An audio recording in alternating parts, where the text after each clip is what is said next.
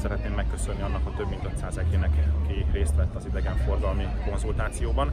Ennek eredményeképpen két jó hírem van az egriek számára.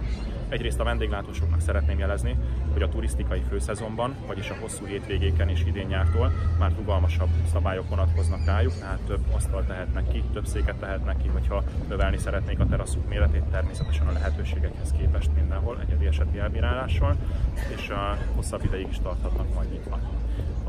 Belvárosban élők számára pedig egy másik jó hírem van, egy összehangolt intézkedéscsomaggal fogjuk segíteni azt, együttműködve a rendőrséggel, a polgárőrséggel és a közterületfelügyelettel, hogy csökkenjen az éjszakai zajongás, őrizzük a lakóknak a nyugalmát. Tehát a, a Fidesz frakció a májusi közgyűlésre fog egy előterjesztéssel élni, ami tartalmazza majd az idegenforgalom kicsit rugalmasabb szabályozását és az együttműködésnek a kereteit, amelyekkel a belvárosban élők nyugalmát kívánjuk szolgálni.